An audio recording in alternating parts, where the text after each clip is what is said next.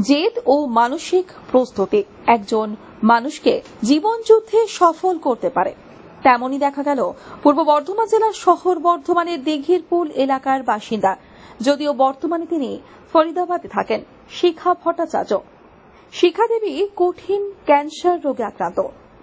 মনের জোরে নিজেকে প্রতিষ্ঠিত করতে দিল্লিতে একুশ থেকে ষাট বছর বয়সের মিস ইন্ডিয়া প্রতিযোগিতায় যোগদান করে বিজয়ী হয়েছেন এদিন তিনি সাংবাদিকদের মুখোমুখি হয়ে নিজের জীবনের কাহিনী তুলে ধরে বলেন, বর্ধমানের মেয়ে হিসেবে আমার কিছু বলার আছে বর্ধমানের লোকেদের কাছে। এটা আমার আবদার, যেটাই মনে করবে তোমরা সবাই। তুমি করেই বলছি, কারণ বর্ধমান আমার বড় নিজের জায়গা। আমি সবাইকে তুমি করেই বলছি। আমি একজন ক্যান্সার সার্ভাইভার। জীবনে আমার অনেক কিছু হয়ে গেছে, আমার পুরো ইতিহাসই সবকিছু। খুব সুস্থ, স্বাভাবিক জীবন ছিল আমার। আমি বর্ধমানে আহ, দিঘিরপুলে আমার বাড়ি আমার বাবার নাম শিব শঙ্কর গোস্বামী ফোরে পড়ি তখন থেকে আমি ভারতী বালিকা বিদ্যালয়ে পড়াশোনা করেছি। আর তারপর ওমেন্স কলেজ থেকে পাস আউট করেছি বর্ধমান ইউনিভার্সিটির স্টুডেন্ট আমি। তারপরে আমি বিএড করেছি কলকাতায় হেস্টিংস থেকে গিয়ে। খুব তাড়াতাড়ি বিয়ে হয়ে গেছে বেরিয়ে গেছি। আজকে আমি এখানে এসেছি আমি নিজের কথা বলতে। সবাইকে প্লিজ আমার নিজের কথা একটু মন দিয়ে শুনো সবাই। দু হাজার উনিশে আমি বৈষ্ণোদেবী গেছিলাম আমার হাজবেন্ডের সাথে। উনি মাঝে মাঝেই যেতেন। ওই কাটরা রেলওয়ে প্রজেক্টের সাথে উনি জড়িয়েছিলেন।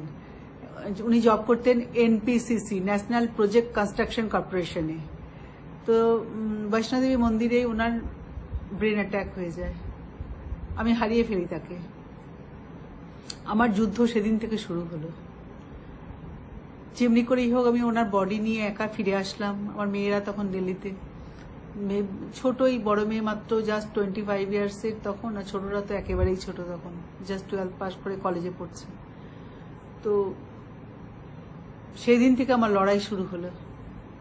আমি যে হাজব্যান্ডের কাজ করে কোনো রকমে নিজেকে একটুখানি দাঁড়ালাম যে, দাঁড়াতে তো হবে, যেমন করেই হোক।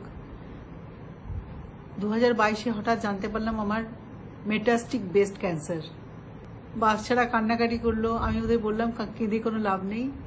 চলো বম্বে যাই। বম্বেতে গিয়ে আমার ট্রিটমেন্ট শুরু হলো। ক্যান্সার টাটা ক্যান্সার হসপিটালে আমার ট্রিটমেন্ট শুরু হলো। ট্রিটমেন্ট হলো, আমি আটখানা কেমো নিলাম। ভীষণ হাই কেমো আর সাথে সাথে ইমিউনোথেরাপি শুরু হলো টার্গেট থেরাপি আজ পর্যন্ত আমি ফর্টি থার্টি নাইনটা টার্গেট থেরাপি নিয়ে নিয়েছি। আমার প্রত্যেক কুড়ি দিন পরে পরে থেরাপি হয়। আমি যাই। এখন দিল- দিল্লিতেই হয় থেরাপিটা কেমোটাও দিল্লিতেই হয়েছে আমার। গুগল সার্চ করছিলাম, আমি একটু করি, সবকিছুতেই আমার একটু হ্যাবিট আছে, আমি এটা পড়ি, ওটা পড়ি, সেটা করি এরকম করি।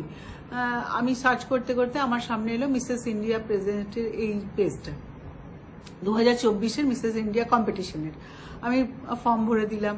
ফর্ম ভরে দেওয়ার পর আমি ওখান থেকে ফোন আসলো। আমি ভাবলাম কি, আমি তো সিলেক্ট হব না I am now fifty five years old আমি কি সিলেক্ট হব? কিন্তু ওনারা আমাকে বললেন, না, আপনি আপনি সিলেক্টেড টোটাল যা যা সব কিছু আছে আপনি সিলেক্টেড আর আপনার ইন্টারভিউ শুরু হবে মানে আপনি সব বর্ধমান থেকে পল্লব দাসের রিপোর্ট আনন্দ বার্তা